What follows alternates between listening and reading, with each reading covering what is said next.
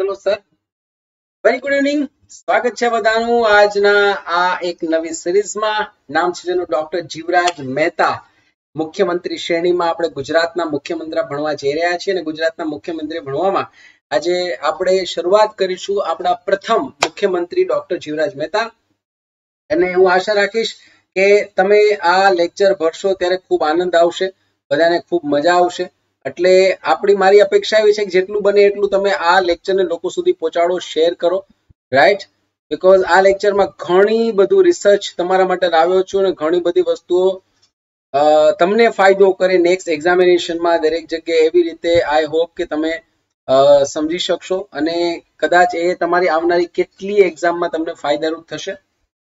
તો first of all હું તમારા બધાનું હાર્દિક સ્વાગત કરું છું. લેટ્સ ક્રેક ગુજરાત એક્ઝામના માઇન્ડ બ્લોઇંગ પ્લેટફોર્મ પર this is me Dikshit Tarega welcoming you all તમારા બધાનું હાર્દિક સ્વાગત કરું છું એન્ડ ઓનેસ્ટલી સર આજના લેક્ચર માટે હું ઘણા દિવસથી ઉત્સાહિત હતો. એટલા માટે એનું રીઝન છે કે આ સીએમ સિરીઝ છે ને ઇટ્સ અ ચેલેન્જ આ એક પ્રકારનું ચેલેન્જિંગ વર્ક છે. શું કામ ચેલેન્જિંગ વર્ક છે?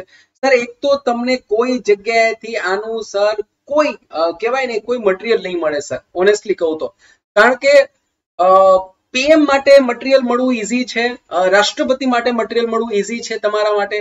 બટ સર જ્યારે તમે વાત ગુજરાતના ચીફ મિનિસ્ટરની આવે, તો સર કેશુભાઈ પટેલ, નરેન્દ્ર મોદી, વિજય રૂપાણી, આનંદીબેન પટેલ, આ ચાર સિવાય અને વધુ વધુ કરીએ તો શંકરસિંહ વાઘેલા.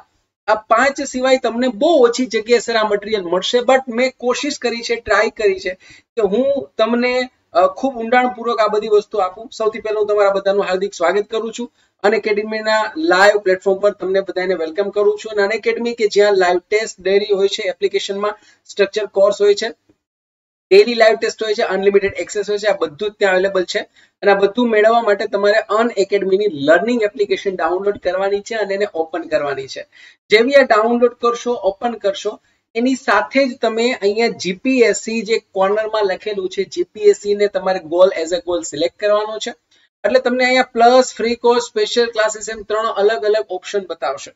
હવે પ્લસ ફ્રી કોર્સ અને સ્પેશિયલ ક્લાસીસ ત્રણ બતાવશે, એમાં તમારે પ્લસ વાળું સિલેક્ટ કરવાનું છે. અને જેવું પ્લસમાં તમે આવશો, એટલે પ્લસમાં આવતાની સાથે જ તરત જ તમને ગેટ સબસ્ક્રિપ્શન ઓપ્શન આપશે, જ્યાં તમારે ગેટ સબસ્ક્રિપ્શન ઓપ્શન ઉપર ક્લિક કરવાનું છે. અને ગેટ સબસ્ક્રિપ્શન ઓપ્શન પર ક્લિક કરતાની સાથે તમને આવા સબસ્ક્રિપ્શનના ઓપ્શન મેનુ આવશે. તો ત્યાં તમારે અહીંયા સૌથી નીચે પહેલા તો ભૂલ્યા વગર લાઈવ ડીટી કોડ લખી નાખવાનો છે લાઈવ ડીટી અને લાઈવ ડીટી કોડ લખી અને તમારે બાર અથવા ચોવીસ મહિનાનું સબસ્ક્રિપ્શન સિલેક્ટ કરવાનું છે. યાદ રાખજો, મારો કોડ છે live DT live DT code ભૂલશો નહીં. અહીંયા જેવો લાઈવ ડીટી કોડ તમે યુઝ કરશો એટલે દસ ટકા ડિસ્કાઉન્ટ સાથે તમને સીધા ટેન પર્સન્ટ લેસ મળશે મારા કોડના એટલે થઈ જશે છ હજાર ત્રણસો. એની સાથે તમારી ક્રેડિટ હશે તો એ પણ દસ ટકા રેડીમ કરશો, એટલે બીજા દસ ટકા મળશે તો દસ વત્તા દસ એટલે વીસ ટકા. અને એક વર્ષનું સબસ્ક્રિપ્શન તમને અંદાજિત પડશે માત્ર પાંચ હજાર સાતસોમાં માની લો કે તમે બે વર્ષનું સબસ્ક્રિપ્શન લો છો, મારો કોડ યુઝ કરો છો લાઈવ ડીટી તો લાઈવ ડીટી કોડ યુઝ કરતાની સાથે જ ફરી પાછું તમને ટેન પર્સન્ટ ડિસ્કાઉન્ટ મારા કોડનું પ્લસ ટેન પર્સન્ટ ડિસ્કાઉન્ટ તમારી ક્રેડિટનું જે તમે ફ્રી વોચ મિનિટ સાથે ભેગી કરી છે જોઈને એ. અને એ બધું ten plus ten twenty percent થશે એટલે બે વર્ષના તમારે પેમેન્ટ કરવાના રહેશે હાર્ડલી છ હજાર સાતસો ની આજુબાજુ. રાઈટ સર તો એક વર્ષ માટે પાંચ હજાર સાતસો, બે વર્ષ માટે છ હજાર સાતસો, તો હું તો એવું કહીશ કે સર તો બે વર્ષનું કરાય, એક વર્ષનું ન કરાય. અને અગર તમને એવો પ્રશ્ન થાય ને કે સર અનએકેડમીનું સબસ્ક્રિપ્શન લેવું જ કેમ જરૂરી છે? સર પહેલી વસ્તુ, એક જ સબસ્ક્રિપ્શન લો, મારો એકનો જ કોડ યુઝ કરો અને મોર દેન ફિફ્ટી એજ્યુકેટર ભણવા મળશે. બીજી વસ્તુ, સર, તમે એકને કોર્સને વારંવાર રિપીટેડલી જોઈ શકશો. જૂના ત્રણ ચાર વર્ષના કોર્સ પણ જોઈ શકો, આવનારા બે વર્ષ સુધી બધા જ લાઈવ રેકોર્ડેડ જોઈ શકો. અને સૌથી મોટી વાત, અગર પૈસા એકી સાથે ભરવાના નથી, તો સર ઈએમઆઈ થી પણ નો કોસ્ટ કોઈ પણ જાતના એક્સ્ટ્રા ખર્ચ વગર ઈએમઆઈ થી પણ તમે આ સબસ્ક્રિપ્શન લઈ શકો છો. બટ હા, શરત એટલી છે કે સબસ્ક્રિપ્શન લેવાનું શરૂ કરો, ત્યારે આ કોડ ભૂલશો નહીં. કોડનું નામ છે લાઈવ ડીટી બસ લાઈવ ડીટી કોડ યુઝ કરો અને અદ્ભુત આનંદની શરૂઆત કરો. ચલો સર ઓલરેડી આઠમી તારીખ યસ આઠમી તારીખ એટલે કે આજે આજે કોર્સ લોન્ચ થઈ ચુક્યો છે અને એ છે બેચ થ્રી નો. તો અગર તમે ક્લાસ થ્રી ની પ્રિપેરેશન કરવા માંગો છો, તો આ ક્લાસ ઓલરેડી લોન્ચ થઈ ગયો છે આજે જ. અને આ ઓફર હજુ પણ ચાલુ છે. અગર બાર મહિનાનું તમે સબસ્ક્રિપ્શન લેશો, તો બે મહિના એમાં પ્લસ તમને એડ કરશે અનએકેડમી તરફથી ફ્રી ગિફ્ટ છે. બસ શરત એટલી છે, તમારે કોડ યુઝ કરવાનો છે લાઈવ ટીટી ઓકે સર આ મારું ટાઈમ ટેબલ છે એનસીઆરટી નું, જે આપણે રોજ સાંજે સાડા આઠે ભણીએ છીએ. લેટેસ્ટ છેલ્લે આપણે બધા સાત મહિના રોજ ભણ્યા હતા. બરાબર? હવે આપણે અગિયાર મે ભણીશું. ગઈકાલે ભણ્યા હતા અગિયાર મે આવશે, પછી અગિયાર, બાર, તેર, ચૌદ. કન્ટિન્યુ આપણે રાજ્યશાસ્ત્ર ફરી પાછું લેશું અને બાદમાં બાદમાં આપણે અઢાર અને ઓગણીસ મે પણ લેશું. જે લોકોને રાજ્યશાસ્ત્રનો અગિયાર એ છઠ્ઠા ધોરણનો એપિસોડ પાંચમો અને છેલ્લો છે, એ આખા ધોરણ છ નું રિવિઝન છે. આખા ધોરણ છ નું રિવિઝન છે વિથ ક્વેશ્ચન એન્ડ આન્સર તો ક્વેશ્ચન આન્સર સાથે હું સાડા આઠ વાગે આખા ધોરણનું રિવિઝન કરીશ. છઠ્ઠા ધોરણનું અગર તમે એક લેક્ચર પણ મિસ કર્યું છે, તો આવતા મંગળવારે ભૂલશો નહીં. તારીખ છે અગિયારમી મે. બરાબર? અને જેમ આજે શનિવાર છે અને આજે આપણા ચીફ મિનિસ્ટર સિરીઝમાં સેલિબ્રિટી સન્ડે આ સેટરડે આપણે લઈ રહ્યા છીએ. આજે છે ચીફ મિનિસ્ટર નેક્સ્ટ સેટરડે આપણે લેશું એપીજે અબ્દુલ કલામ સર ભૂલતા નહીં APJ Abdul Kalam next Saturday આપણે લેવાના છીએ. So next Saturday same channel YouTube channel let's કે ગુજરાત એક્ઝામ આજ સમય સાડા આઠ વાગે આપણે મળીશું સર ભૂલતા નહીં. બીજું, આવતીકાલે રજા છે, પરંતુ પરમ દિવસનું મંડે મોટિવેશનલ દરેક સોમવાર સાંજે એક અદ્ભુત હોય છે. અને આ સોમવારે આપણે ભણવાના છીએ five things from Hanumanji. Hanuman પાસેથી શીખવાની હજારો વાતોમાંથી પાંચ વાતો મેં એવી લીધી છે, જે તમને તમારા એજ્યુકેશન કરિયરમાં સ્ટુડન્ટ કરિયરમાં ખૂબ કામ લાગશે. Okay sir so here we go let start the lecture first CM of Gujarat ગુજરાતના પ્રથમ ચીફ મિનિસ્ટર જેનું નામ છે doctor Jivraj Narayan Mehta. Yes sir હવે તમને પ્રશ્ન એ થવો જોઈએ કે ગુજરાતની એક અદ્ભુત જર્ની, આ એવડું મારું ગુજરાત, જય જય ગરવી Gujarat. Sir Gujarat proud to be a Gujarat એવું કહી શકાય કે ગુજરાતીયન તરીકે ખૂબ પ્રાઉડ ફીલ થાય. અને ખલીલ ધનતેજવી, એમણે તો સાહેબે લખી નાખ્યું છે કે જેને મારી વાત સમજાતી નથી, એ ગમે તે હોય, ગુજરાતી નથી. તો ગુજરાતી હું ને ખુદમાં જ એક હું એમ કહું છું કે સફળતા છે. કોઈ એમ પૂછે ને કે તમે સફળ છો, તો, સર, તમે પચાસ તો સફળ થઈ ગયા. બરાબર? પચાસ તો સફળ થઈ ગયા, કેમ કે તમે ગુજરાતી છો. હવે પચાસ જ કામ બાકી છે. અને, સર, વિશ્વના ઇતિહાસના ફલક ઉપર જોઈ લો, સાહેબ.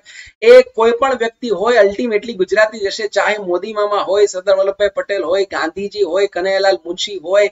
સર, જીવરાજ મહેતા હોય, મોરારજી દેસાઈ હોય, કોઈ પણ હોય એ બધા છેલ્લે તો સર ગુજરાતી જ છે. અરે પાકિસ્તાનનો રચયિતા મોહમ્મદ અલી જિન્ના પણ છેલ્લે તો ગુજરાતી છે. તો આવા અદ્ભુત આનંદ આપણે કરીએ છીએ. એટલે ભૂલ્યા વગર ગુજરાતમાં આજે જે ચીફ મિનિસ્ટર આપણે શરૂ કરવાના છીએ. રાઈટ જો આ લખ્યું છે, Gujarat land of legends yes અહીંયા ગુજરાતમાં જન્મનાર ઓલરેડી લિજેન્ડ્સ જ હોય છે. ચલો સર શરૂ કરીએ first chief minister doctor Jivraj Narayan Mehta જન્મ છે એમનો ઓગણત્રીસ ઓગસ્ટ અઢારસો ને સત્યાસી અને સાતમી નવેમ્બર ઓગણીસો અઠ્યોતેરમાં એમનું દેહાંત થયું હતું. ફર્સ્ટ સીએમ ઓફ ગુજરાત ગુજરાતના પ્રથમ સીએમ યસ તમે બધા ક્યારના સ્નેપીની વાત કરો છો બધા? તો હું તમને હવે કહી જ દઉં છું, બધા વાત કરે છે તો. સર, આપણે રોજ સાંજે એક સ્પેશિયલ ક્લાસમાં એક ટેસ્ટ લઈએ છીએ. રોજ સાંજે સ્પેશિયલ ક્લાસમાં છ વાગે ટેસ્ટ લઈએ છીએ. જેમાં આપણે એક નવો કોન્સેપ્ટ શરૂ કર્યો છે, નામ છે એનું સ્નેપી હવે સ્નેપી કોન્સેપ્ટ એટલો સરસ લોકોને ગમી ગયો છે, તમારા બધે આવ કર્યો, તમારો બધાનો આભાર. કે આ સ્નેપી કોન્સેપ્ટમાં હું તમને મેપ બેઝડ ક્વેશ્ચન કરાવું છું મેપ બેઝડ એટલે શું? કે હું તમને એક મેપ બતાવું, એ ગુજરાતનો હોઈ શકે, કોઈ જિલ્લાનો હોઈ શકે, ભારતનો હોઈ શકે ઇન્ટરનેશનલ હોઈ શકે. અને પછી ક્વેશ્ચન પૂછું. સો ત્યાં ને ત્યાં તમારે એ મેપ બેઝ મેમરી બી સ્ટોર થઈ જાય અને ભણવાની પણ બહુ મજા અને સૌથી ઇમ્પોર્ટન્ટ મજા શું છે ખબર આ ટેસ્ટની રોજ સાંજે છ વાગે જે અન એકેડમીની એપ્લિકેશન ઉપર હું આ લઉં છું. અન એકેડમી સ્પેશિયલ ક્લાસ છે ફ્રી છે, સાવ કોઈ પણ એટેન્ડ કરી શકે. જેની લિંક પણ તમને આ જ વિડીયોના ડિસ્ક્રિપ્શનમાં મળી જશે. સર ઇમ્પોર્ટન્ટ વાત એ છે કે આ ટેસ્ટ આપવા માટે તમારે કોઈ તૈયારી કરી નથી મતલબ તમે સાવ ઝીરો થઈને આવો અને કલાક એકની ટેસ્ટ પછી તમે ભરાઈને જશો. અને એક ખાતરી આપું કે એક એક ક્વેશ્ચને તમને થ્રિલ જેવું ફીલ થશે કે હવે શું આવશે? હવે કયો નકશો આવશે ને હવે શું આવશે? એના જેવું ફિલિંગ આવશે. રાઈટ સાહેબ, ચલો સર, હવે શરૂ કરીએ. તો મારી વિનંતી છે, સોમવારે સાંજે છ વાગે સ્પેશિયલમાં સ્પેશિયલ ક્લાસ અન એકેડમીની લર્નિંગ એપ્લિકેશન ઉપર, અન લર્નિંગ એપ્લિકેશન ઉપર સાંજે છ વાગે આવી જજો સોમવારે. સ્નેપી ટેસ્ટ આપવા તમને બધાને મજા આવશે. ચાલો સાહેબ, શરૂ કરીએ. ગુજરાતના નાથ. સાહેબ, નાથ એટલા માટે કીધું કે અલ્ટિમેટલી અલ્ટિમેટલી આ લોકો એ છે જે લોકોએ ગુજરાતને ચલાવ્યું છે. સાહેબ, ગુજરાતને સિરિયસલી ચલાવ્યું છે. હવે તમને એમ થવું જોઈએ કે, સર ચીફ મિનિસ્ટર ભણવા કેટલા જરૂરી શા માટે જરૂરી? સમજો, સર. સર, પેલી તો મારી તમારી ફરજ છે બિંગ આસ્પિરન્ટ આસ્પિરન્ટ એક હું અને તમે જીપીએસસી આસ્પિરન્ટ હોય તો તમારી મારી ફરજ છે કે આપણે, સર, જાણવું જોઈએ કે આપણો પોલિટિકલ ઇતિહાસ શું છે. આસ્પિરન્ટથી યાદ આવ્યું, આજે આપણી અનએકેડમીની આસ્પિરન્ટની વેબ સિરીઝની જે ટીવીએફ ઉપર આવે છે એનો પાંચમો અને છેલ્લો એપિસોડ લોન્ચ થઈ ગયો છે. તો જેને ન જોયો એકવાર જોઈ લેજો ઇટ વોઝ સિરિયસલી ગ્રેટ બહુ સરસ એપિસોડ છે બધા. હવે એક તો આપણી ફરજ છે, નંબર બે. સર, દરેક પરીક્ષાઓમાં પૂછાય જ છે અને હું ફરી વાર કહું છું, ચીફ મિનિસ્ટર પૂછાય છે ડઝન્ટ મીન કે કેશુભાઈ પટેલ, નરેન્દ્ર મોદી, આનંદીબેન પટેલ કે પછી વિજયભાઈ રૂપાણી. સર, આ ચાર સિવાય, શું કામ આ ચાર સિવાય? સર, આ ચાર વિશેનું તમને ઘણું બધું અવેલેબલ હશે, મળી જશે. પણ આ લોકો ઊંડા જાય છે. જેટલા મુખ્યમંત્રી જૂના, એટલા જ મહત્વના. તો એ લોકો આજે હું તમને ઓછામાં ઓછા દસથી પંદર ફેક્ટ્સ એવા આપીશ જે તમને આજ પહેલા નથી ખબર. ઇન શોર્ટ હવે આજ પછી જ્યારે કોઈ બી એક્ઝામ આવશે અને આ ફેક્ચ્યુઅલ ડેટામાંથી કંઈ પૂછી લીધું, તો સર, હવે તમારો એક માર્ક, બે માર્ક, ત્રણ માર્ક જશે નહીં. દેટ ઇઝ ફોર શ્યોર બિલકુલ. મજા આવશે હવે તમને. તો ચાલો શરૂ કરીએ. પ્રથમ મુખ્યમંત્રીને ડોક્ટર જીવરાજ નારાયણ મહેતા અને આ છે એમનું અમરેલી વાળું ઘર. સર અમરેલી વાળું ઘર હું એટલે બોલ્યો બીકોઝ બેઝિકલી આ વ્યક્તિ અમરેલીના છે. આઈ મીન અમરેલીના હતા. સો અમરેલીના એક અમરેલી આજે પણ બહુ નોર્મલ મીડિયમ તમારામાંથી ઘણા બધા અમરેલીના હશે. તો નોર્મલ લોકો બહુ એકદમ સામાન્ય શહેર છે, જિલ્લો છે, બહુ કઈ એટલું બધું હાઈફાઈ જિલ્લો છે નહીં. બટ સર આ એમનું ઘર છે, જીવરાજ મહેતાનું. અને આ નાના એવા ઘરમાં ખૂબ દારૂ ગરીબાઈ હશે. કદાચ કેમ કે તો જ આવું ઘર હોય. બનિયા હતા, વાણિયા હતા. જીવરાજ મહેતા રાઈટ અને ત્યાંથી એની જર્ની શરૂ થઈ અને એ ત્યાંથી કોને ખબર કે અમરેલીમાં જન્મેલા ડોક્ટર જીવરાજ મહેતા એક દિવસ ગુજરાતના સીએમ બનશે. હવે સમજો સર કઈ રીતે આખી કહાની થાય છે. હું તમને એકદમ પાયામાંથી લઈ જઈશ. તો વિલ સ્ટાર્ટ હું એમના જન્મથી વાત કરીશ અને છેક એના સીએમ સુધીની યાત્રા સુધી વાત કરીશ. સૌથી પહેલા સીએમ બન્યા કેમ, કઈ રીતે? સર ગુજરાત બન્યું ઓગણીસો સાહીઠમાં.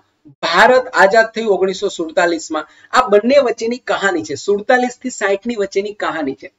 દેશમાં અલગ અલગ રાજ્યોમાં તણાવ હતો. દરેક રાજ્યને અલગ સ્વતંત્ર થઈને પોતાનું કાં તો દેશ બનાવવો હતો, કાં તો પોતાને નવું રાજ્ય બનાવવું હતું બેઝડ ઓન લેંગ્વેજ ભાષાના આધારે લોકોને નવું રાજ્ય જોઈતું હતું. જેની પહેલી ડિમાન્ડ કોઈ હતી તો કોણ હતું, સર? આંધ્રપ્રદેશ. સૌથી પહેલા આંધ્રપ્રદેશે ડિમાન્ડ કરી કે ભાઈ અમારે તમિલનાડુમાંથી નોખું થઈ તેલુગુ ભાષીઓનું એક નવું રાજ્ય બનાવવું છે. એવામાં આ બધી માથાકૂટ ચાલતી હતી. એવામાં ઓગણીસો એકાવનથી એક લડાઈ ચાલી.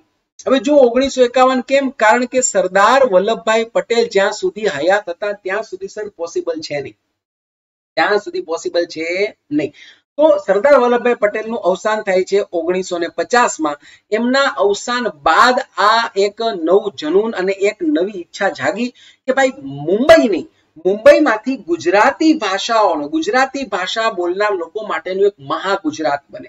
શબ્દ યાદ રાખજો, મહાગુજરાત. અને એટલે ત્યાંથી ઓગણીસો એકાવનથી એક લડાઈ શરૂ થઈ.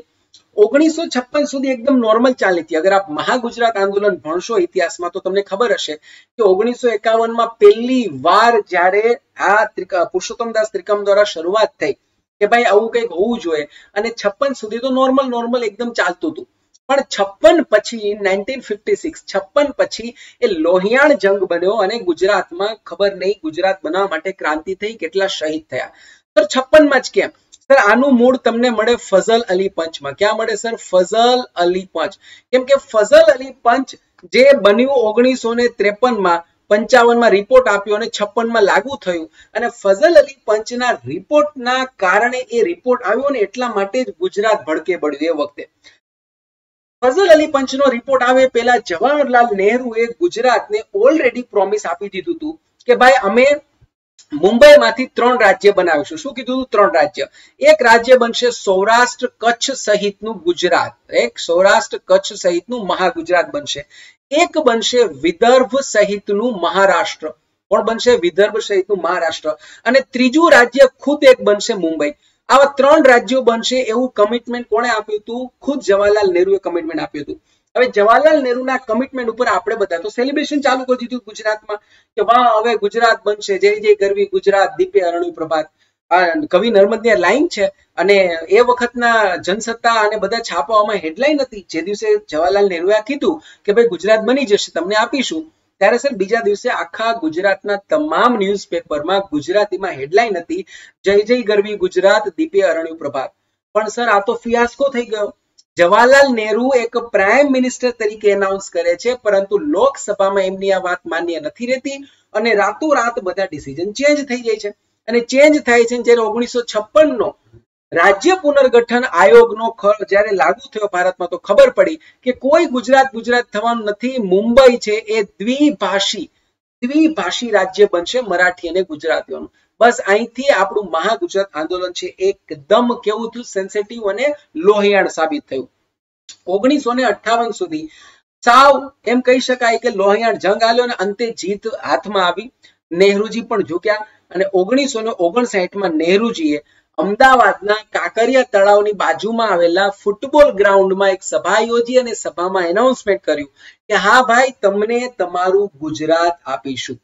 બિલકુલ, તમને તમારું ગુજરાત આપીશું. ફાઇનલી એનાઉન્સમેન્ટ થયું અને પછી સર આ આખે આખી જંગ પૂરી થઈ અને ઓગણીસો સાહીઠમાં ગુજરાતની રચના થઈ. તો આમ આ આપણા ગરવી ગુજરાતની શરૂઆત એક માઇનો થોડા પોઈન્ટ્સ મેં મહાગુજરાત આંદોલનમાંથી લીધા. તો હવે જીવરાજ મહેતા બરાબર? પેલા એને ઓળખીએ અને ઓળખીને પછી આપણે એની જર્ની જોઈએ કે કઈ રીતે સીએમ બન્યા. આપણે જો સીધા હું શરૂ કરીશ કે સીએમ બની ગયા, તો મારે તમને એ નહીં ખબર પડે કે સીએમ બન્યા એ કયા સંજોગોમાં બન્યા. કેમ કે સવાલ એ છે, આ ડોક્ટર છે કોઈ લિટરેચરના ડોક્ટર સાહિત્યના ન હતા. આ ડોક્ટર મેડિસિનના ડોક્ટર હતા. અને હું તમને આજે અમુક ફેક્ટ્સ એવા કહીશ. સર ગુજરાત જ નહીં. ભારતમાં અગર મેડિકલ લેવલે ભારતમાં આજે અગર મેડિકલ ક્ષેત્રે જેટલી આધુનિકતા છે, જે તમને અત્યારે હાઈ લેવલ ટેકનોલોજી જોવા મળે છે, સર, એમાં કેટલા બધાની ક્રેડિટ છે? બટ એક માણસ એમાં જેની ક્રેડિટ જાય છે એ છે ડોક્ટર જીવરાજ મહેતા. સર, જીવરાજ મહેતા ન હોત તો આજે All India Institute of Medical Research જે એમ્સ જેને તરીકે ઓળખે છે જે દિલ્હી ખાતે છે, અને હવે ગુજરાતને પણ એમ્સ મળશે સર, એ દિલ્હી ખાતે આવેલી એમ્સ એકચ્યુઅલમાં દિલ્હીમાં ન હોત, એ હોત દેહરાદૂન. બટ દેહરાદૂનની જગ્યાએ દિલ્હીમાં આખા ભારતનું મેડિકલ રિસર્ચ સેન્ટર સ્થાપવાનું જે શ્રેય જાય છે, એ જાય છે ત્રણ જણાને, જેમાંના એક જણ છે જીવરાજ મહેતા, બીજા બીસી રોય ત્રીજા મને નામ યાદ નથી અત્યારે, પણ આ ત્રણ લોકોને શ્રેય જાય છે. સર, હજી હું એટલી બધી આના વિશે વાતો કરવાનો છું આજે કે તમારી આંખો પોળી થઈ જશે. કે આ માણસ રાજકારણમાં આવ્યો ક્યારે જ ન સમજાણું. આ માણસ રાજકારણમાં આવ્યો કેમ? કેમ કે એની પાસે જે ડિગ્રી જે ક્વોલિફિકેશન હતી અદ્ભુત હતી. મૂળ સૌરાષ્ટ્ર અમરેલી જિલ્લાના વતની હતા. પણ એ વખતે અમરેલી એટલે આપણું મુંબઈ પ્રેસિડેન્સીમાં આવતું. ત્યારે ગુજરાત હતું નહીં. જન્મ ઓગણત્રીસમી ઓગસ્ટ અઢારસો ને સત્યાસીમાં થયો. અને સાહેબ, ઓગસ્ટમાં જન્મે ને એ લિજેન્ડ જ હોય. તો ઓગણત્રીસમી ઓગસ્ટ અઢારસો સત્યાસી નો જન્મ થયો. પિતા નારાયણ મહેતા અને માતા જમકાબેનના દીકરા હતા. અને પત્ની તો તમે ઓળખો છો, હંસાબેન મહેતા. નાગર બ્રાહ્મણ હતા એટલે ઇન્ટરકાસ્ટ મેરેજ હતા. કેમ કે આ હતા બનિયા અને હંસાબેન મહેતા હતા નાગર બ્રાહ્મણ. હંસાબેન મહેતા બહુ વેલ સેટલ હતા વેલ સેટલ અને વેલ સેટલ હતા એટલે હંસાબેન મહેતાના ફાધર મનુભાઈ મહેતા. એ વખતે બરોડા સ્ટેટ ગાયકવાડ સ્ટેટના દિવાન હતા મનુભાઈ મહેતા. આ છે મનુભાઈ મહેતા રાઈટ આ હંસાબેન અને આ છે આપણા ડોક્ટર જીવરાજ મહેતા. સર હંસાબેન મહેતાનું નામ તો તમે જોયું છે, તમને મેં એમના વિડીયોઝ બી બતાવેલા છે, યાદ રાખજો. સો મનુભાઈ મહેતા, સૌથી પહેલા યાદ રાખજો, બરોડા સ્ટેટના, ગાયકવાડ સ્ટેટના દિવાન રહી ચૂક્યા છે. એમના પુત્રી હંસાબેન મહેતા. એમણે મેરેજ કર્યા જીવરાજ મહેતા સાથે. ઇન્ટરકાસ્ટ મેરેજ હતા જીવરાજ મહેતા એ સિરિયસલી ઈ વોઝ અ જેમ જેમ શું કામ? હું તમને હમણાં એનું ડિગ્રી અને બધું કહીશ ને યુ વિલ બી સરપ્રાઈઝ તમે ખુશ થઈ જશો. તેઓ ડોક્ટર મેડિસિનમાં જ બન્યા. તેઓ ડોક્ટર મેડિસિનમાં જ બન્યા, કોઈ સાહિત્યના નતા. પણ ડોક્ટર બનવાની સલાહ કોણે આપી? સર એને ડોક્ટર બનવાની સલાહ અમરેલીના સિવિલ હોસ્પિટલ એ વખતની અમરેલી સરકારી હોસ્પિટલ હતી. ત્યાંના ડીન નામ હતું એદલજી રુસ્તમજી દાદાચંદજી. તો એદલજી, રુસ્તમજી, દાદાચંદજી નામના પારસી ડોક્ટરે ડોક્ટર જીવરાજ મહેતામાં કંઈક જોયું. અને એને થયું કે ભાઈ, તારે તો ડોક્ટર બનવાની જરૂર છે, તું મેડિસિનમાં જા. અને એમણે એને પ્રોત્સાહન આપ્યું અને એ રીતે એને પ્રેરણા મળી કે મને લાગે છે કે મારે જવું પડશે. તો હવે ડોક્ટરનું ભણે છે અને ડોક્ટરની આખી એ જર્ની શરૂ કરે છે. હવે ધ્યાનથી સાંભળજો. હવે અહીંથી જે હું ફેક્ટ્સ રજૂ કરું છું ને they are mind blowing facts અને આ તમને નેક્સ્ટ એક્ઝામમાં આનાથી વધુ જીવરાજ મહેતા વિશે પૂછી જ ન શકે. મતલબ હું એટલું કવર કરીશ બધી સીએમ સિરીઝમાં કે લગભગ તમારે બધું ગુજરાતનું રાજકારણ આવી જાય. સર એમબીબીએસની એન્ટ્રેન્સ ટેસ્ટ પાસ કરી અને એડમિશન લીધું. આઈ રિપીટ વન્સ અગેન એમબીબીએસની એ સમયમાં એન્ટ્રેન્સ ટેસ્ટ પાસ કરી અને એડમિશન લીધું. અને એડમિશન લીધું એ કોલેજનું નામ હતું ગ્રાન્ટ મેડિકલ કોલેજ, જે સાઉથ એશિયાની જૂનામાં જૂની હોસ્પિટલ હતી. એ વખતની નોટ ઓનલી ફોર ગુજરાત કે ઇન્ડિયા, પણ હું કહું છું સાઉથ એશિયાની. રાઈટ, પુના ખાતે આવેલી હતી, સાઉથ એશિયાની જૂનામાં જૂની હતી અને બીજી હતી જે જે હોસ્પિટલ, બોમ્બે. સર, આ બે હોસ્પિટલમાં એણે પોતાનું એમબીબીએસનું ભણતર પૂરું કર્યું. હવે ધ્યાન રાખજો યસ બંધારણ સભામાં મહિલાઓનું અધ્યક્ષતા જે કરી હતી હંસાબેન મહેતા, અને એ પણ મેં તમને આરએસ ટીવીમાં રાજ્યસભા ટીવીનો મેં વીડિયો બતાવેલો હશે, તમને યાદ હશે તો. કે હંસાબેન મહેતા એ ધ્વજ પહેલા લહેરાયો હતો ક્યાં? સંવિધાન સભામાં. અને હંસાબેન મહેતાના મોઢેથી પહેલી વાર ગીત નીકળતું સંવિધાન સભાની અંતમાં કયું મારું, તમારું પ્રાઉડ જેનાથી છાતી પોળી થઈ જાય. સાહેબ, ક્યાંય સાંભળ્યું હોય ને તો શરીરમાં કડકાઈ આવી જાય, ગમે એટલો નમાલો માણસ હોય તો ઊભો થઈ જાય. એ આપણું પ્રાઉડ આપણું નેશનલ એન્થમ જનગણમના. એ સંવિધાન સભામાં પૂર્ણ થયું ત્યારે હંસાબેન મહેતાના મોઢેથી ગવાયું હતું. એ હંસાબેન મહેતા એટલે જીવરાજ મહેતાના વાઇફ ફાઇનલ એમબીબીએસ ના વર્ષમાં ધ્યાન રાખજો. આ જો સાંભળો કેટલા હોશિયાર હશે સર ઇમેજિન કરો. ફાઇનલ એમબીબીએસ ના વર્ષમાં આઠમાંથી સાત મેડલ એમને મળ્યા. બોલો, આ કેટલા સ્કોલર હતા? આઠ આઠ ટોટલ મેડલ ફાઇનલ એમબીબીએસમાં મળ્યા. એમાંથી સાત તો પોતાને એકલા મળ્યા. અને જે આઠમું મેડલ હતું ને, આઠમું, એ પણ એને જ મળ્યું. પણ એને શેર કર્યું હતું પોતાના હોસ્ટેલ પાર્ટનર અને એના હોસ્ટેલના જે પાર્ટનર હતા, જેમની સાથે એમણે આઠમું મેડલ શેર કર્યું. એનું નામ હતું મારી નામ સાથે જ હતું. કાશીનાથ દીક્ષિત. યાદ રાખજો, મને યાદ રાખજો, જીવરાજ મહેતારે મને જોડી દેજો. તો કાશીનાથ દીક્ષિત અને જીવરાજ મહેતા બંને સાથે મળી. અને શું કર્યું હતું સર? એ બંને આઠમું મેડલ જીત્યું હતું તો એમબીબીએસમાં પોતે જ્યારે ભણતા હતા, ત્યારે ભારતમાં રહીને આઠ ગોલ્ડ મેડલ જીત્યા. હવે આગળ જવું, આગળ જોજો, ધ્યાનથી આગળ જાઓ. કે હવે શું કરે છે? જોજો એ માણસની જર્ની જોજો, ક્યાં પહોંચે છે અને શું કરે છે? લંડન આગળના અભ્યાસ માટે જવું હતું. કેટલા સ્કોલર્સ ઇમેજિન કરજો. આગળના અભ્યાસ માટે લંડન જવું હતું. પણ લંડન જવું તો સર કાવડિયા કોણ આપશે? કોણ? કાવડિયા. વોટ ઇઝ કાવડિયા? સર, કાવડિયા એટલે પૈસા. હવે લંડન જવા માટે પૈસા જોઈએ ને પૈસા એટલા હતા નહીં. પણ એ વખતે ભારતમાં એક સ્કોલરશિપ ચાલતી હતી. અને સ્કોલરશિપ ચલાવતી ફાઉન્ડેશનનું નામ હતું Tata education foundation so Tata education foundation scholarship ચલાવતી હતી. હવે એ આખા ભારતમાં એ સિલેક્શન કરે. એટલા મોટા ભારતમાં એ વખતે જે અપ્લાય કરે સ્કોલરશિપ માટે લોન માટે, એને લોન આપે સ્કોલરશિપ આપે but on such ground on such conditions એમાં ટેસ્ટ આપવી પડે એન્ટ્રન્સ ક્લિયર કરવું પડે વાઇવા ક્લિયર કરવું પડે, બધું હોય. સર આખા ઇન્ડિયામાં ડોક્ટર જીવરાજ મહેતા એ વ્યક્તિ હતા જેને બે લોકો સિલેક્ટ થયા હતા આ સ્કોલરશિપમાં એમાંના એક ડોક્ટર જીવરાજ મહેતા હતા. સમગ્ર ભારતમાંથી માત્ર બે જ લોકોને સ્કોલરશિપ મળી હતી. અને એમાંના એક હતા doctor Jivraj Mehta. And that's how he went London London ભણવા ગયા ડિગ્રી લેવા એમડી ની. શું ભણ્યા સર એમડી પછી આગળ એમબીબીએસની એમબી બધું લંડન કર્યું. સો ઓગણીસો નવથી લઈને ઓગણીસો પંદર સુધી તેઓ લંડન રહ્યા અને ત્યાં જ રાજકારણના બીજ એનામાં રોપાયા. હવે તમને એમ થશે કે રાજકારણના બીજ અહીંયા કેમ આવ્યા? એનું શું કામ? આવું કેમ બોલો? આવું કેમ? કેમ કે હજી સુધી તો માત્ર ભણ ભણ ભણ ભણ જ વાત ચાલે છે. હજી સુધી તો માત્ર ડોક્ટર ડોક્ટર ડોક્ટર ચાલે છે. ડોક્ટર ડોક્ટર રમે છે. હજી આમાં ક્યાંય રાજકારણ આવ્યું નથી. હજી આમાં ક્યાંય કોઈ સરદાર વલ્લભભાઈ પટેલની જેમ તો છે નહીં કે નરેન્દ્ર મોદીની જેમ નથી કે જેઓ સ્કૂલ સમયથી ધબધપાટી બોલાવતા હતા. નહીં સર આ તો છે એમબીબીએસમાં પહોંચી ગયા. હજુ રાજકારણ નથી આવ્યું. તો સર મેં કેમ અહીંયા ઉલ્લેખ કરો સર એનું રીઝન છે. ઓગણીસો નવથી ઓગણીસો પંદર જે છ વર્ષ લંડનમાં રહ્યા, ભણ્યા ત્યારે છ વર્ષમાં એમણે અહીંયા રાજકારણ એટલા માટે કે એ લંડનમાં પોતે ઇન્ડિયન સ્ટુડન્ટ એસોસિએશનના પ્રમુખ હતા.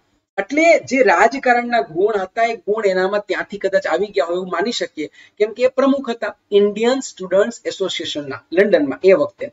અને હવે સૌથી મોટું કહો, જે લંડનમાં જે એને ભણ્યા ને સાહેબ, એ શું ભણ્યા તમને કહું? એફઆરસીએસ કહેવાતા. આનું મિનિંગ બહુ મોટું થાય.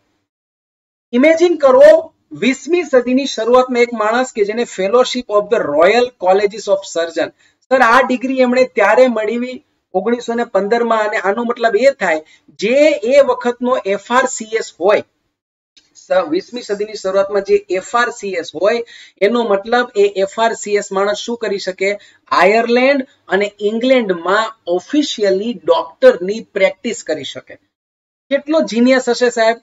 અગર ચાહે જીવરાજ મહેતા તો ત્યાંથી લંડનથી જ પોતે આયર્લેન્ડ જતા રહે અથવા તો લંડનમાં જ રહે, આખા ઇંગ્લેન્ડના કોઈ પણ દેશમાં રહે અને ત્યાં રહીને એ વ્યક્તિ પ્રેક્ટિસ કરી શકે ડોક્ટરની, એટલા મોટા પોતે સર્જન હતા.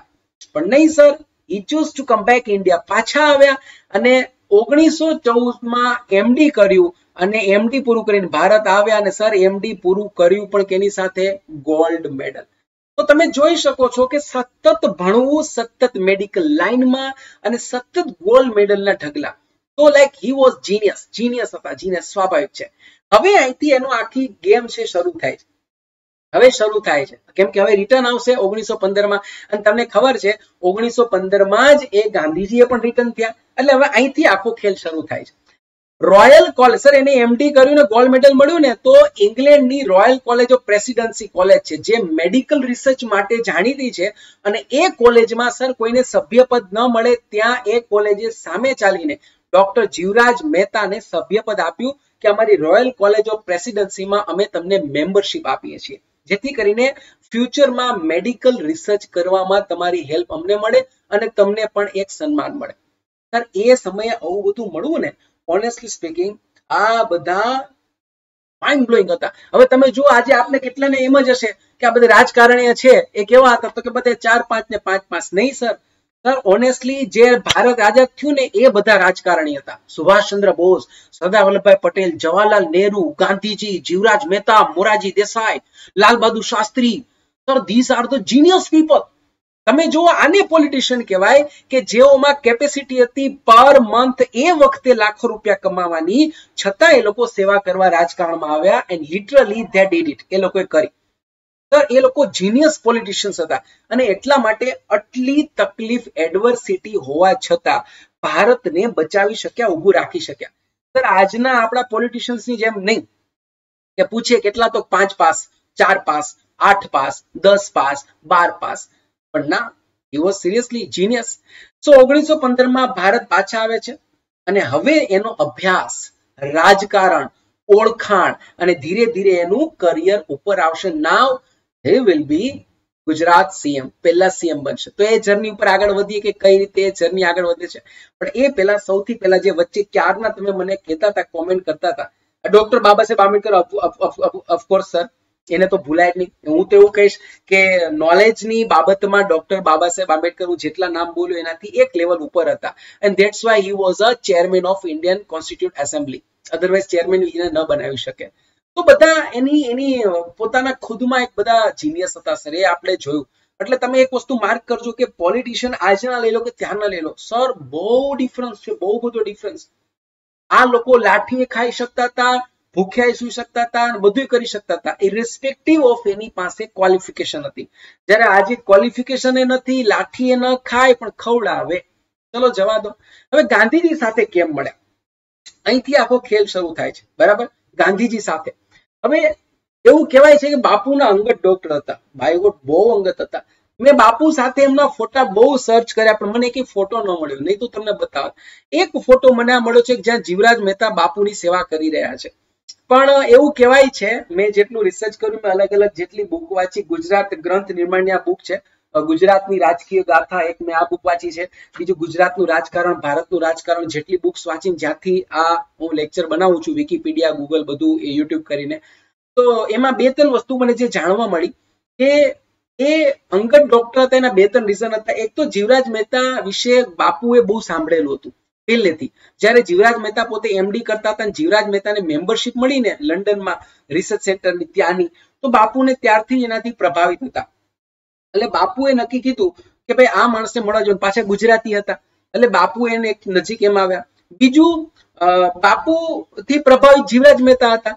તો બંને એકબીજાથી પ્રભાવિત હતા. એટલે આ તો એમડી હતા, તો એની સેવા બી કરતા હતા. હવે બાપુની સાથે હોય એ માણસ પછી તમને લાગે છે કે બચી શકે.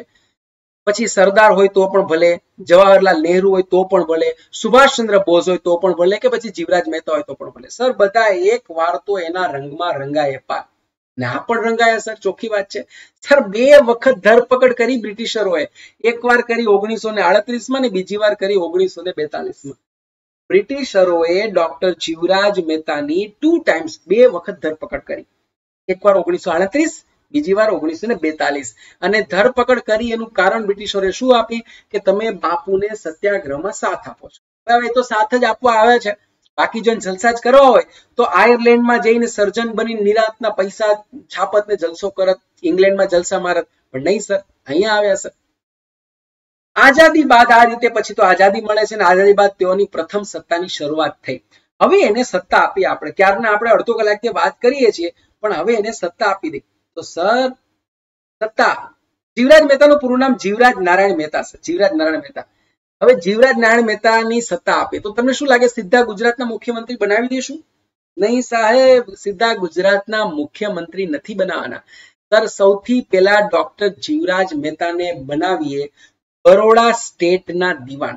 ભાઈ, સસરા પોતે બરોડા સ્ટેટના દિવાન હતા. તો જીવરાજ મહેતાને પણ બરોડા સ્ટેટના દિવાન કે પછી પ્રાઇમ મિનિસ્ટર જે કયો એ બનાવી શકાય. અને એવું જ થયું, સર. અને એ પણ આઝાદી પહેલાની વાત નથી, આઝાદી પછીની વાત છે. આઝાદી પછીની વાત છે. આઈ રિપીટ વન સેકન્ડ અને ક્યારે? ઓગણીસો ને અડતાલીસમાં બરોડા સ્ટેટના પ્રાઇમ મિનિસ્ટર બને જો આવું પૂછી શકે કે ગુજરાતના કયા મુખ્યમંત્રી બરોડા સ્ટેટના પ્રાઇમ મિનિસ્ટર હતા, આવું પૂછી શકે સાહેબ તમે અને એ પણ આફ્ટર ફ્રીડમ આઝાદી મળ્યા બાદ. સો ઓગણીસો અડતાલીસમાં જ્યાં એક બાજુ સરદાર વલ્લભભાઈ પટેલ ચારે બાજુ એકીકરણમાં પડ્યા હતા. ઓગણીસો ને એ વખતમાં એ વખતમાં જ્યારે સરદાર વલ્લભભાઈ પટેલ દરેક પ્રિન્સલી સ્ટેટ અને એ બધા પાસેથી વાટાઘાટા કરી અને ભારતને એક કરી રહ્યા હતા, એ વખતે જીવરાજ મહેતા અહીંયા શું કરતા હતા? એનું બી એક રીઝન છે.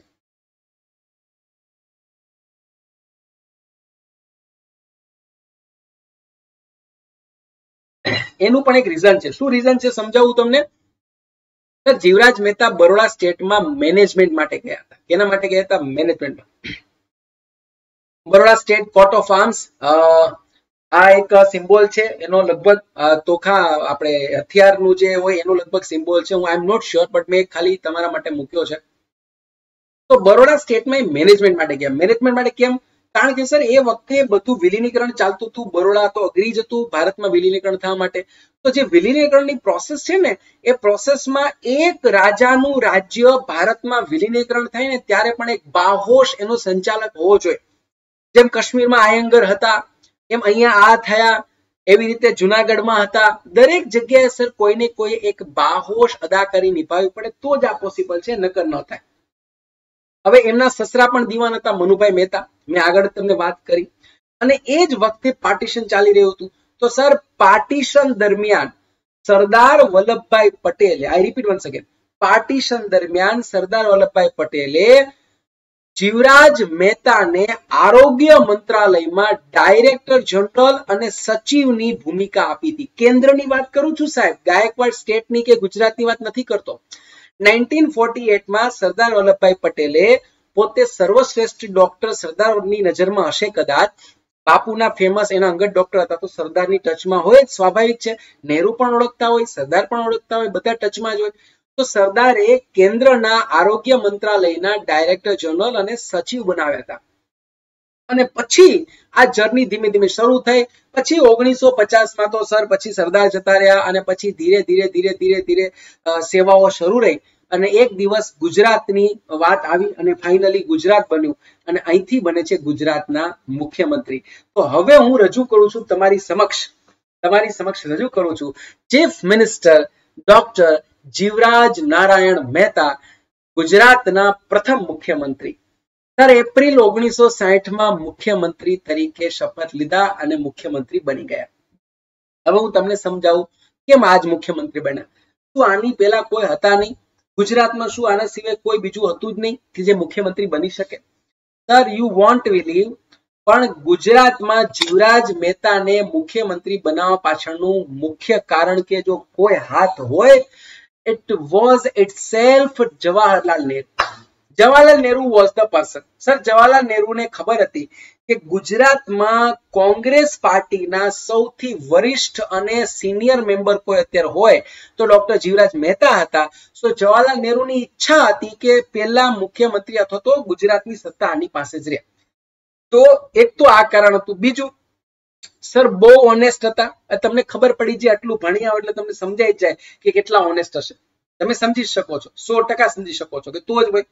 નંબર ત્રણ, જે સૌથી ઇમ્પોર્ટન્ટ વાત છે કે એવા માણસના હાથમાં બાગડોર સોંપવી હતી કે જે માણસ સાચે વહીવટનો માસ્ટર હોય અને જીવરાજ મહેતામાં એક પ્રકારના વહીવટની માસ્ટરી હતી અને એ નેહરુએ, ગાંધીએ અને સરદારે જોઈ હતી. એ હતી મેડિકલ રિસર્ચ બાબતે. હું આગળ વાત કરીશ કે ભારતમાં આજે મેડિકલ સાયન્સ જ્યાં છે, એમાં જીવરાજ મહેતાનો પણ બહુ મોટો ફાળો છે. કઈ રીતે હમણાં તમને કહું?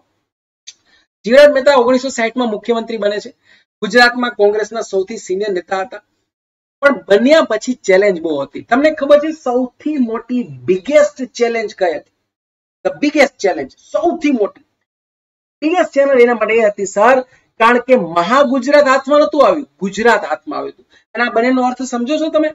મહાગુજરાત આવ્યું હોત તો સર એમાં એક શહેર હોત જે ગુજરાતમાં એ શહેર નથી. મહાગુજરાત જો બન્યું હોત તો મહાગુજરાતમાં એક બહુ મોટું શહેર હોત, જે શહેર ગુજરાતમાં હોત, સર ઓનેસ્ટલી કહું છું, આજે ગુજરાત ખબર નહીં ક્યાં હોત.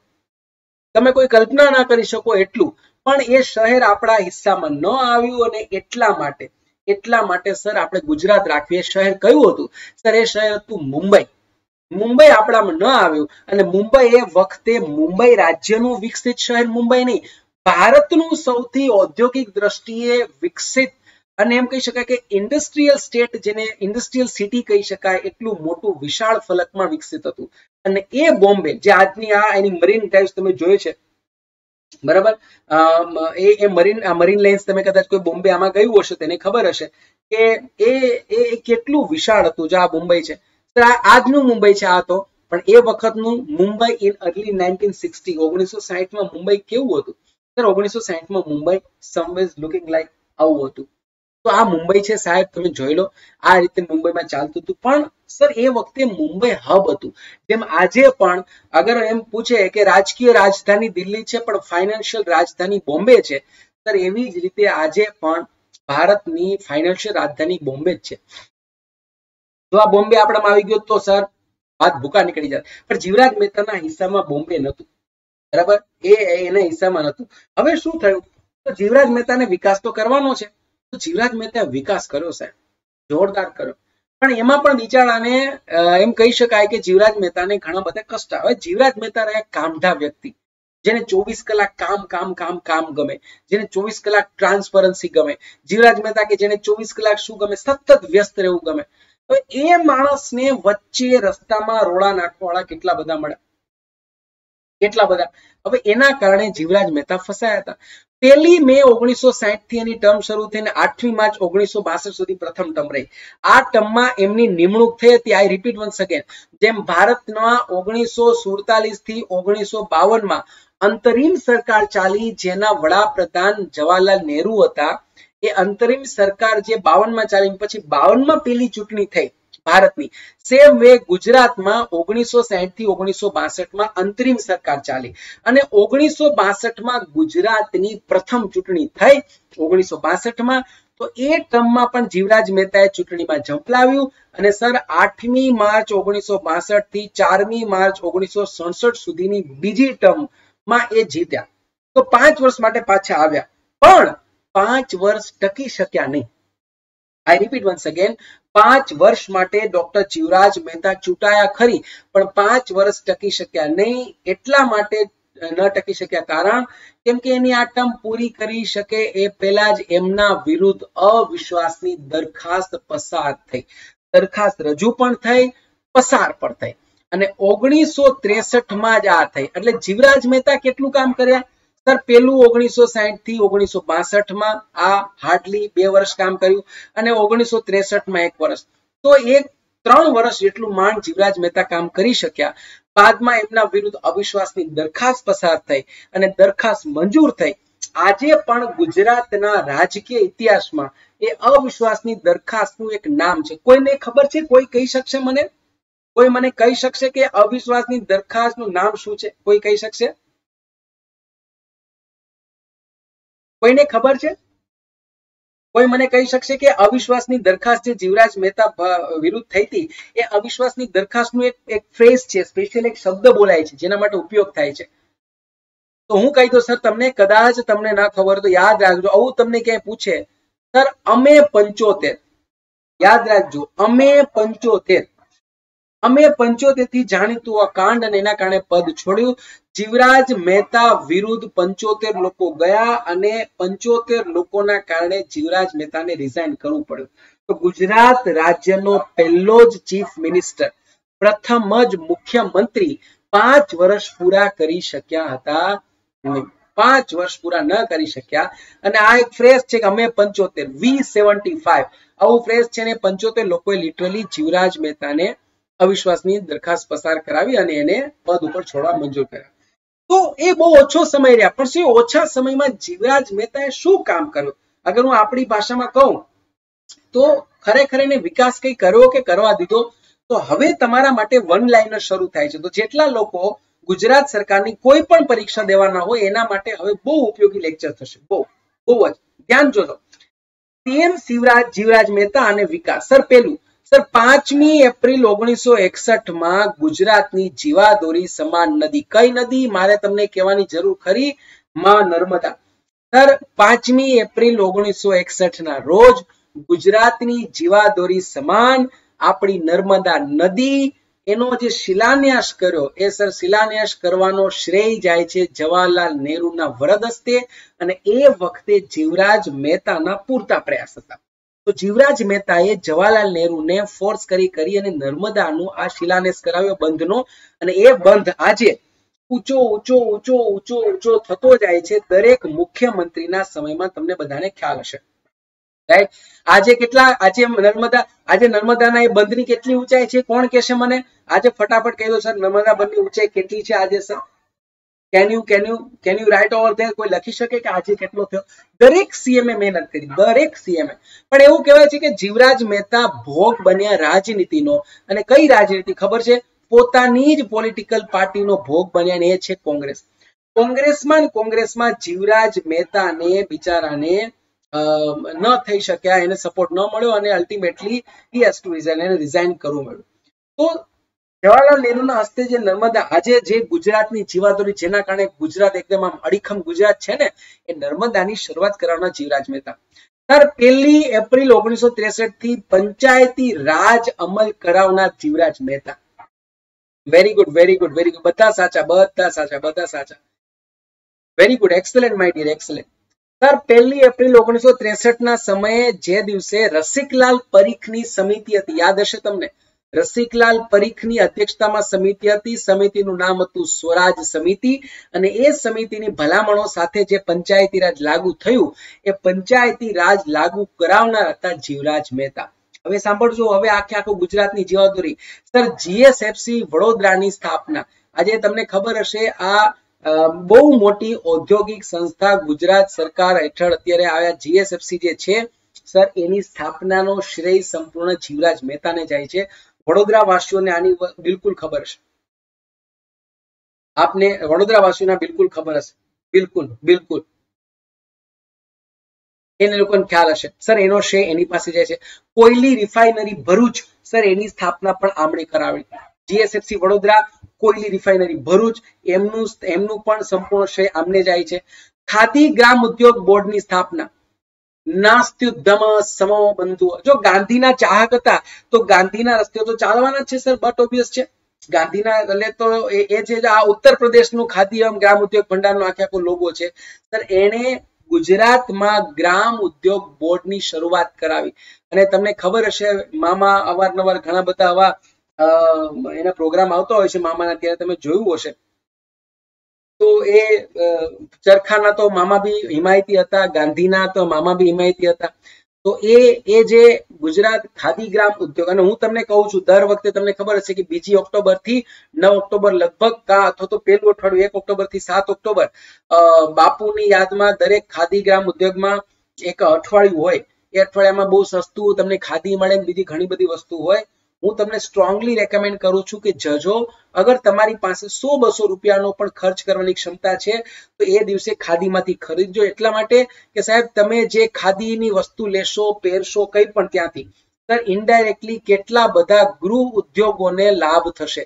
અને એ ગૃહ ઉદ્યોગો એટલે કેટલા બધા ઘર ધમધમતા રહેશે. અને એના કારણે આપણી કલા પણ વિકસિત રહેશે, એમના સસ્ટેન રહેશે. અને ફાયદો પણ થશે. તો એક રિક્વેસ્ટ છે, જ્યારે પણ ઓક્ટોબર મહિનો આવે કે કોઈ પણ સમય, અગર તમારી પાસે એમ થાય કે આ મહિને સો રૂપિયા ખર્ચવાની સગવડતા છે, સર, ખાદી ગ્રામ ઉદ્યોગમાં જઈને ખર્ચો. કઈ ન કરો, ખાદીનો રૂમાલ લઈ લો અને એ રૂમાલ કોઈને કોઈને ભેટ આપો, કોઈ પ્રોગ્રામમાં. તો પણ તમે, સર, સારું કામ કરવું કહેવાય. ગુજરાત યુનિવર્સિટી વિધેયક, સર, ગુજરાત યુનિવર્સિટી વિધેયક પસાર કરનાર doctor Jivraj Mehta, sir. Doctor Jivraj Mehta. ફરજિયાત પ્રાથમિક શિક્ષણ. સર, આજે ભૂપેન્દ્રસિંહ ચુડાસમા સાહેબ આપણા જેમનો કદાચ આજે જન્મદિવસ છે, પણ અગર હું ભૂલ ન કરતો હોય તો ભૂપેન્દ્રસિંહ ચુડાસમાનો આજે લગભગ જન્મદિવસ છે, યોગાનુગ થયું, આ ફોટો મને મળી ગયો. એ જે શિક્ષણ આજે છે ગુજરાતનું, અને આજે તમને ખબર છે કે હવે તો આપણી પાસે રાઈટ ટુ એજ્યુકેશન છે આરટીઈ છે, બે હજાર નવ આજે આપણી પાસે છ થી ચૌદ વર્ષના બાળકો માટે મફત અને ફરજિયાત શિક્ષણ છે. આજે આપણી પાસે બીજી ઘણી બધી સુવિધાઓ છે શિક્ષણને લઈને. પણ એ શિક્ષણના હિમાયત અથવા એ શિક્ષણની દીર્ઘદ્રષ્ટા જે તે સમયે ડોક્ટર જીવરાજ મહેતા શું કામ હોઈ શકે? કારણ કે ભારતમાં પ્રાથમિક શિક્ષણ ફરજિયાત કરનાર કોણ હતા? ગાયકવાડ સ્ટેટ. ગાયકવાડ સ્ટેટ તમને યાદ હશે. અને જે સ્ટેટના દિવાન રહી ચૂક્યા હોય, સ્વાભાવિક છે કે જે સ્ટેટના દિવાન જેને આખા ભારતમાં ફરજિયાત કર્યું હતું, પ્રાથમિક શિક્ષણ, કન્યા શિક્ષણ, તો એ સ્ટેટના દિવાનના આ વિચારો હોય, એ એકદમ સ્વાભાવિક છે. એકદમ સ્વાભાવિક છે. સમજો છો? ત્રીજી વસ્તુ, સર, દારૂબંધી કરાવી. ગાંધીના ગુજરાતમાં દારૂબંધી ન હોય એની શરૂઆત જીવરાજભાઈ કરાવી બાકી રોજ સાંજ પડે અને આ ગલગટિયામાં બેસી જાય અને જીવત ત્યાં સુધી પીવાય. આ પછી ક્યાં? જીઓ, ઓર, પ્યોર પ્યોર જીઓ. અરે મરી જાશો ભાઈ, આને ચોકડી મારો, આ ધંધા બંધ કરો. તો જે આ ગાંધીના ગુજરાતમાં આજે દારૂબંધી છે, સર, એનો પણ સંપૂર્ણ શ્રેય માત્ર એક વ્યક્તિને જાય છે અને એ છે જીવરાજ મહેતા. સિવિલ હોસ્પિટલ જેવી અદ્યતન સુવિધા શરૂ કરી, સર. આજે લગભગ દરેક જિલ્લામાં સિવિલ હોસ્પિટલ હશે. જિલ્લાને એક મોટી હોસ્પિટલ મળવી જોઈએ. સર, એ પણ આ જીવરાજ મહેતાનું સ્વપ્ન હતું. હવે સૌથી ઇમ્પોર્ટન્ટ પ્રશ્ન જે તમને પૂછાઈ શકે. આ અત્યાર સુધી હું જેટલું બોલ્યો ને કદાચ પોસિબલ છે કે ક્યાંક ને ક્યાંક તમને શક્યતાઓ છે કે એ કોઈ ફેક્ટ્સમાં મળી જાય, કોઈ જગ્યાએ બુક્સમાં લખેલું મળી જશે. But now this is too much important sir doctor Jivraj Mehta અને medicine I repeat one second doctor Jivraj Mehta and medicine sir દવામાં doctor Jivraj મહેતાનું શું યોગદાન? સર મેડિકલ ક્ષેત્રે એનું બહુ મોટું યોગદાન હતું. દિલ્હીમાં આજે જે એમ્સ છે all India institute of medical science sir A AIIMS નો એકમાત્ર ફાળો જો કોઈને જતો હોય તો એ છે આપણા ડોક્ટર જીવરાજ જીવરાજ મહેતા. શું કામ? કેમ કે એ વખતે એ વખતે એને ડોક્ટર જીવરાજ મહેતાએ ફોર્સ કર્યો હતો. ફોર્સ કર્યો હતો અને ફોર્સ શું હતો કે કંઈ પણ થાય, જે રિસર્ચ સેન્ટર છે in all India institute of medical સાયન્સનું research centre દિલ્હીમાં જ થવું જોઈએ અને સી સર આ એમ્સ છે. આજે ભારતના કોઈ પણ મોટા નેતા કે બિઝનેસમેન જે બહુ વધારે પડતા બીમાર હોય તો કાં બોમ્બેની બ્રિજ કેન્ડી હોસ્પિટલ કે કોકિલાબેન હોસ્પિટલમાં હોય અને કાં તો લગભગ એમ્સમાં હોય. બરાબર? અગર ઇન્ડિયામાં છે તો. અને અહીંયા નથી તો પછી ફોરેનમાં ખબર નહીં. પણ ઇન્ડિયામાં છે તો આ બે જગ્યા હોય. સર, એટલું બધું સરસ મજાનું આ આ એમ્સનું કામ છે. જે એમ્સ અર્લિયર ઇટ વોઝ ક્યાં થવાની હતી? દેહરાદૂન થવાની હતી. પણ પોતે બીસી રોય અને જીવરાજ મહેતા સાથે મળી જે સ્કોલર હતા, મેડિકલના ફિલ્ડમાં એ લોકોએ રિક્વેસ્ટ કરી જવાહરલાલ નહેરુને. અને સર, એને રિક્વેસ્ટથી એ એમ્સનું રિસર્ચ સેન્ટર દિલ્હીમાં આવ્યું. ત્રણ વખત તેઓ ભારતના ઓલ ઇન્ડિયા મેડિકલ કોંગ્રેસના પ્રમુખ બન્યા. ઓલ ઇન્ડિયા મેડિકલ કોંગ્રેસના થ્રી ટાઈમ ત્રણ વખત પોતે પ્રમુખ બન્યા અને ઇન્ડિયન મેડિકલ એસોસિએશનમાં પણ પ્રમુખ બન્યા હતા. ઇન્ડિયન મેડિકલ એસોસિએશનમાં પણ પોતે પ્રમુખ બન્યા હતા. આ એમની ઉપલબ્ધિ છે. હવે જે સૌથી મોટું, હવે આ વાત તમને કદાચ ક્યાંક પૂછી શકે, તો તમે જોજો. આ વાત તમે પૂછી શકે. વાવ, કરણ પટેલ, બાળકો માટે પેટ સફાઈ દવા બાબુલીની શોધ. આ મને નથી ખબર ઓનેસ્ટલી સ્પીકિંગ અગર આ સાચું છે તો ખરેખર બહુ સારી વાત છે કે બાળકોની પેટ સફાઈ માટે જે બાબુલીન છે શોધ એને કરી. મને નથી ખબર કોણે કરી, પણ જો આ સાચું હોય તો બહુ કામનું છે બધા માટે. આઈએમની પણ સ્થાપના કરેલી. યસ, ચિંતન, બિલકુલ બિલકુલ બિલકુલ બિલકુલ. હવે એક બેસ્ટ વાત કહું કે જે લઈને તમને ઇન ફ્યુચર કદાચ આને લઈને તો હું શ્યોર છું કે આ ક્વેશ્ચન ક્યાંક પૂછાવો જોઈએ. એક કોલેજ છે પુણેમાં. King Edward Memorial Hospital and Seth Gordhandas Sundardas medical college. અને જેને ટૂંકું નામ કેમ કહેવાય છે? કે એમ સર, એના સંસ્થાપક એટલે કોણ? આપણા ડોક્ટર જીવરાજ મહેતા. સત્તર વર્ષ સુધી એના ફર્સ્ટ ડીન રહ્યા since nineteen twenty five to nineteen forty two ઓગણીસો પચીસથી ઓગણીસો બેતાલીસ સુધી. ઓગણીસો પચીસથી ઓગણીસો ને બેતાલીસ સુધી. સમજી ગયા? આમાં એનો સૌથી મોટો ફાળો હતો. હવે હું અહીંયા તમને કહું એને મેડિકલમાં શું કામ એનું શ્રેષ્ઠ યોગદાન છે, હું તમને થોડુંક સમજાવું. ત્યારથી સમજો એ વખતે ભારત હજી સદ્ધર હતું નહીં. ઇન્ડિયા આપણું હજુ ઊભું થતું, દેશ હતું, ઇન્ડિયા હજી ઊભો થાય એમ હતો નહીં. તો ઇન્ડિયા ગ્રેજ્યુઅલી ધીરે ધીરે ધીરે ધીરે ધીરે ધીરે સદ્ધર થતું હતું. એ વખતે ઇન્ડિયાને ઇનોવેશનની બહુ જરૂર હતી. કેમ કે ઇનોવેશન થાય અલગ અલગ ફિલ્ડમાં સંરક્ષણના ફિલ્ડમાં મેડિકલના ફિલ્ડમાં શિક્ષણના ફિલ્ડમાં તો દેશ કંઈક સ્કોલર બધા બહાર પાડે ને કંઈક દેશ આગળ આવે. પણ ઇનોવેશન કરવા માટે તમારે પૈસા જોઈએ અને સર, સરકાર પાસે બધું હતું પૈસા સિવાય. પૈસા સિવાય સરકાર પાસે બધું હતું. તો ડોક્ટર જીવરાજ મહેતાએ એ વખતે મેડિકલ ફિલ્ડમાં રિસર્ચ કરવા માટે કેટલી વાર સરકાર પાસે પૈસા માંગ્યા? સરકાર પૈસા આપતી નથી. તો જીવરાજ મહેતાએ શું કર્યું? એ વખતનો વિશ્વનો જે ફેમસ પર્સનાલિટી કહેવાય, જેનું નામ હતું વોલ્ટર મોર્લે ફ્લેચર. એક એવો વ્યક્તિત્વ કે જે ફિઝિયોલોજીસ્ટ પણ હતો અને સાથે સાથે મેડિકલ એડમિનિસ્ટ્રેશનનો બેતાજ બાદશાહ હતો. વર્લ્ડ લેવલે વિશ્વનો એ વખતનો બહુ મોટો વ્યક્તિ કહેવાય વોલ્ટર મોર્લે ફ્લેચર. અને આ વોલ્ટર મોર્લે ફ્લેચરને ડોક્ટર જીવરાજ મહેતાએ આમંત્રણ આપ્યું કે તમે આવો અમારી કોલેજમાં કેમ્પમાં અને કેમ્પમાં તમે આવી અને અમારી સાથે એક વિઝિટ કરો. તો ડોક્ટર મોહનલે ફ્રેક્ચર આવે વિઝિટ કરવા. વિઝિટ કરે, એની સાથે એને ડિનર લીધું. બરાબર, એ સમયનો સર્વશ્રેષ્ઠ વહીવટ કરતા હતો. તો જીવરાજ મહેતા એને ભારત ડિનર પર બોલાવ્યા. એને એ કેમ હોસ્પિટલમાં આ પોતે મોરલે વોલ્ટર મોરલે ફ્રેક્ચર આવ્યો?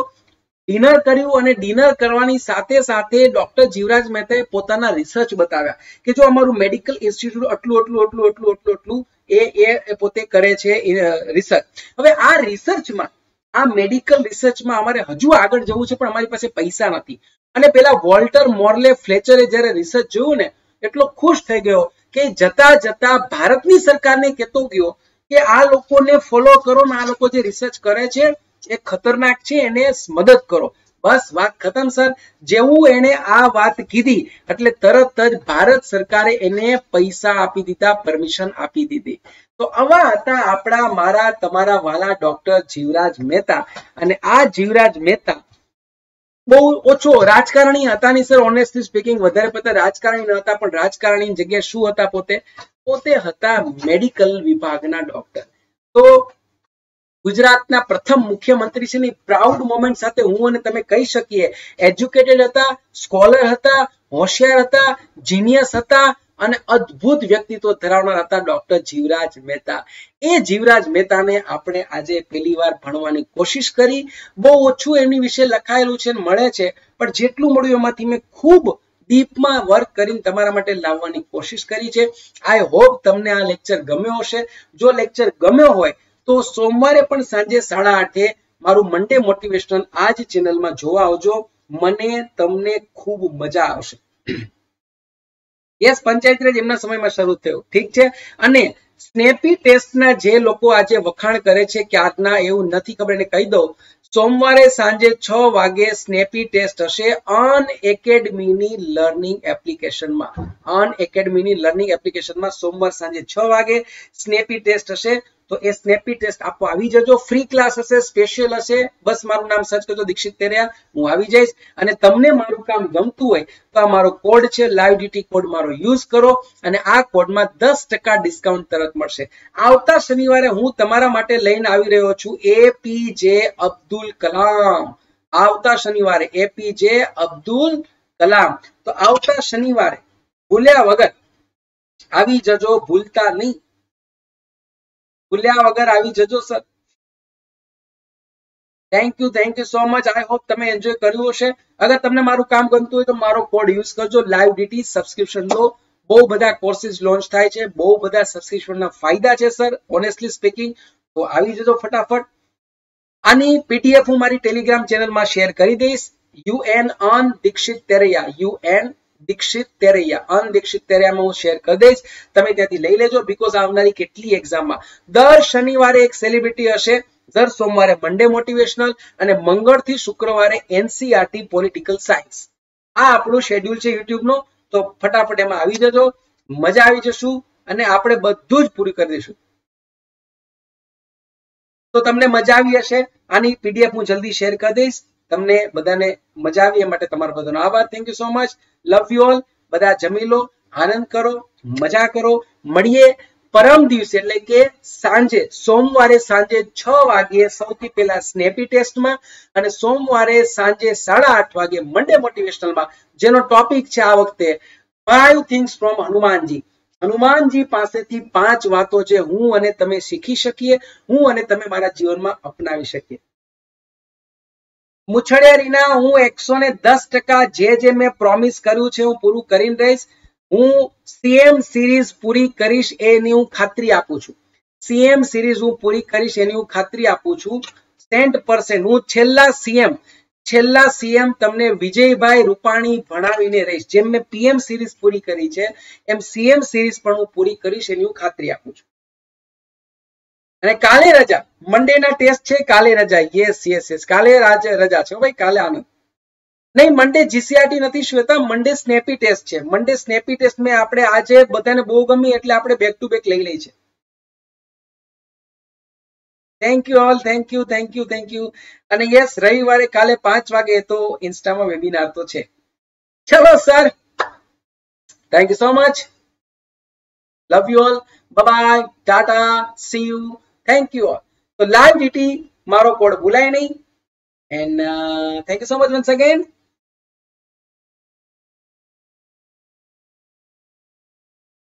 thank you thank you thank you so much thank so much so much ચલો સર તમારે કોઈને કઈ ક્વેશ્ચન પ્રશ્ન હોય તો મને પૂછી શકો છો અત્યારે અધરવાઇઝ આપણે વાઇન્ડ અપ કરીએ. If you have any kind of questions and please let me know કોઈને કઈ ક્વેશ્ચન્સ હોય તો હજુ પૂછી શકો છો કે સર યુટ્યુબમાં સમય શું છે લેક્ચર શું છે, વગેરે વગેરે.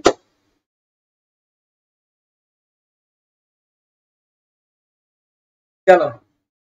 સાંજે છ વાગ્યે લાઈવ હોય છે આપણે સ્પેશિયલમાં અનએકેડમીની એપ્લિકેશનમાં છ વાગે. Love you all guys thank you so much bye tata see thank you thank you thank you so much જમવાનો સમય થઈ ગયો. જમી લો જમી લો.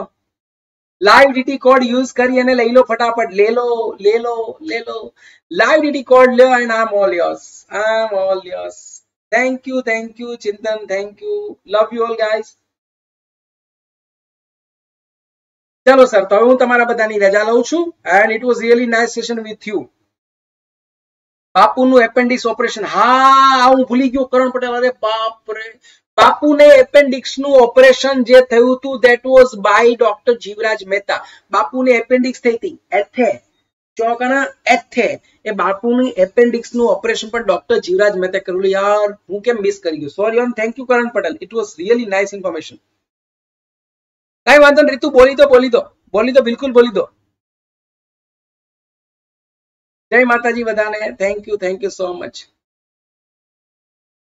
જી સર. ચલો સર આઈ થિંક હવે કોઈને ક્વેશ્ચન છે નહીં. કેવી રીતે લાઈવ કોડ યુઝ કરવાનો?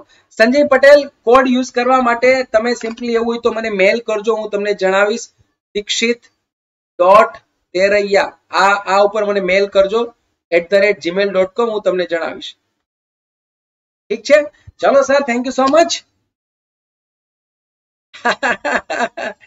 અરે, બધા મુખ્યમંત્રી સંજયભાઈ, બધા એચ એન્ડ એવરી વન છેલ્લા મુખ્યમંત્રી સુધી લઈશ, જેનું નામ છે વિજયભાઈ રૂપાણી સરકાર, સંવેદનશીલ મુખ્યમંત્રી આપણા. ઓકે રીતુ, ચલો so Ritu says next time તો પછી નેક્સ્ટ ટાઈમ